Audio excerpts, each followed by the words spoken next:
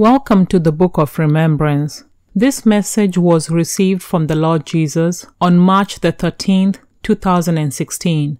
The title of the message is The Wedding Banquet. And the Lord Jesus began, Honey is sweet to the taste.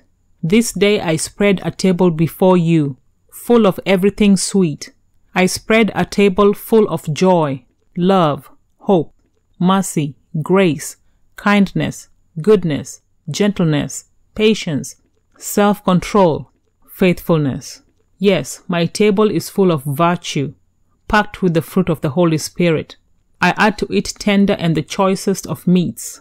My word loaded down with every imaginable blessings, and for the babies, I have rich, creamy, fresh milk to nourish you as you grow into maturity. And yes, I did not forget the bread, fresh manna, the angel's food, to make you strong and mighty. And oh yes, I did not forget the fresh wine, pressed from fresh grapes, a comfort to your soul. Yes, my table is loaded down with sweetness, and for dessert, honey from the honeycomb, truffles, and all kinds of sweets that delight your senses. I have not forgotten anything. My table is surely ready for my guests.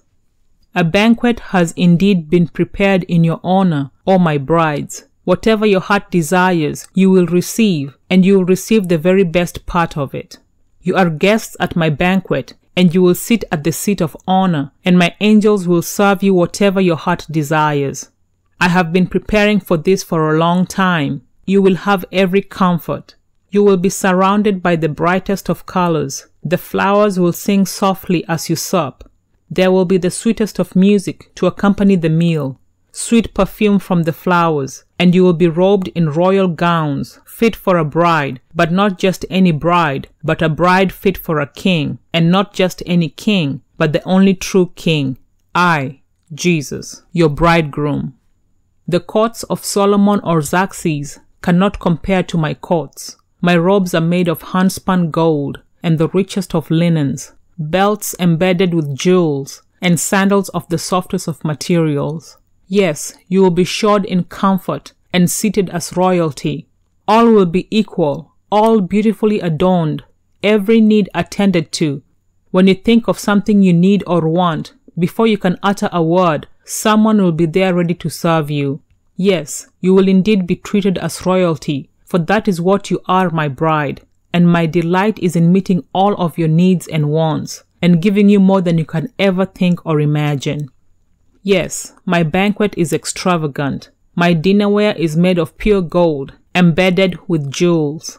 My tablecloths and napkins are made of the purest linen, bordered in pure gold. Your place setting and the seat is marked with your name. Everyone will be seated in the place of honor. None will be above another, for you're all my brides, all equal, all important in my sight. We will dine in peace, and we will toast your great victory with wine. For the first time since I supped with my disciples during the Last Supper, I will once again taste wine. I have fasted from it because I was waiting for you to join me at my banquet, that we may drink it together as we share our love for each other in holiness. Yes, I will savor the taste of wine once again as I behold your radiant faces bathed in my Father's glory. For a moment, my heart and soul will forget the destruction that I have left behind on the earth as I enjoy our love for each other. My heart will be glad after being full of grief as I grieved for those I had to leave behind. Your presence will be like balm for my once grieving heart. Yes, we will rejoice in each other's presence and comfort one another in love. Your miseries that had surrounded you on earth will be forgotten all the weight that the world placed on your shoulders will be lifted up, and you will be surrounded by my Father's glory. We will mingle after the banquet. We will meet and greet each other with a holy kiss. You will meet your loved ones who had gone before you and embrace them in holy love. Heaven will be filled with laughter and joy, little children playing together in peace, free to grow and explore in peace and safety. We will then dance in the ballroom, a time of great joy. We will be merry as we celebrate a long awaited reunion.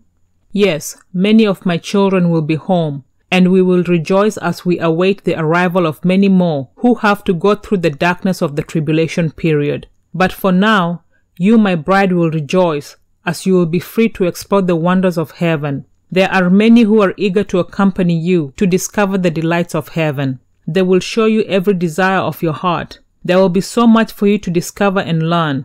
Yes, my bride, there is still much to be learned, for we must one day return to earth to rule and reign for a thousand years. Remember these words, my brides. Shut them up in your heart. They are a hope for you to keep you looking up.